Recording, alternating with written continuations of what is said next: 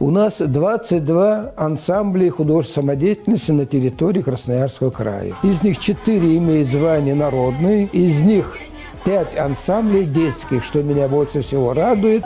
Самобытность чувашского народа выражена в его костюмах, песнях, танцах, праздниках. Автономии удалось возродить два национальных праздника – Акатуй – начало посевных работ и Чуклине – праздник урожая. Его красноярские чуваши уже 10 лет отмечают в разных районах края. Вот на праздники вот эти приезжаешь и общаешься, также вот старайся на своем родном языке.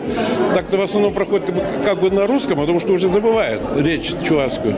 Речь на чувашском языке звучит не только на праздниках, но и на съездах и конференциях, которые автономия проводит регулярно и где обсуждаются такие вопросы, как концепция и планы национально-культурного развития чувашского народа Красноярья. Для кого делается? Для нас, для чувашей, земляков. Поэтому говорите на чувашском языке. Родному языку автономия посвятила праздник – День чувашского языка, который ежегодно проходит в день рождения выдающегося просветителя и гуманиста Ивана Яковлевича Яковлева.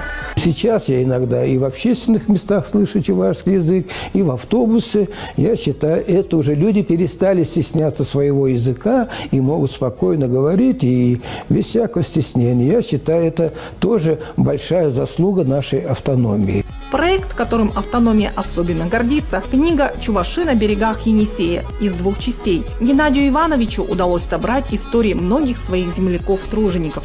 В основу книги было заложено первоначально э, писать о простых людях, которые приехали на великие стройки Сибири, э, на поднятие сельского хозяйства Сибири, то есть для работы в Красноярском и развития экономики края. Чувашская автономия выстроила конструктивные взаимоотношения со всеми